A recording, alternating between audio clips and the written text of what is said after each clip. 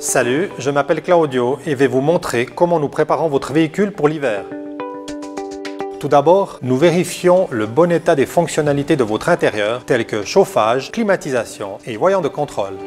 Ensuite, nous inspecterons le compartiment moteur et nous nous assurerons que le niveau de tous les liquides tels que huile moteur, liquide de refroidissement, liquide lave-glace, liquide de frein et direction assistée soit suffisant et de bonne qualité. Si nécessaire, nous y ferons la pointe. Il est également très important de tester la charge de votre batterie pour que votre véhicule démarre toujours sans faute. Puis, nous mettons le véhicule sur le pont élévateur et examinons l'ensemble de dessous de caisse et de tous les éléments techniques, tels que la boîte à vitesse, la direction, la transmission, les trains de roulement, les freins et tous les câbles. En dernier lieu, nous vérifions qu'il n'y a aucune trace de rouille ou de dommage sur la carrosserie.